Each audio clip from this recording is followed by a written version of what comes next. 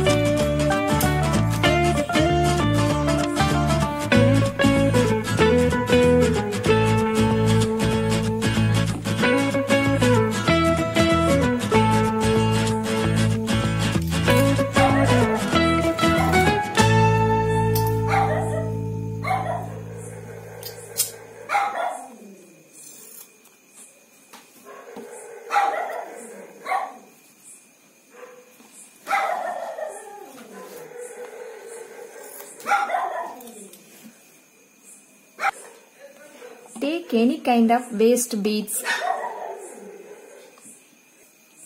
Place in center and fold like this. After that just fold both side. Do like this. Take a thread and tie.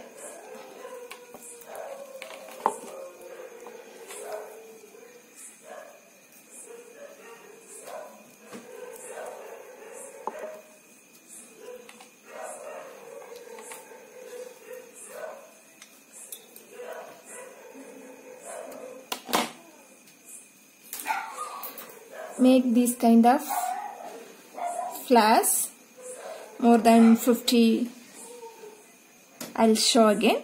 Just take any kind of beads or thermocol or whatever you have any waste kind of beads you can take it. Just keep center fold like this. And again you fold tightly. Just rotate take one thread and tie.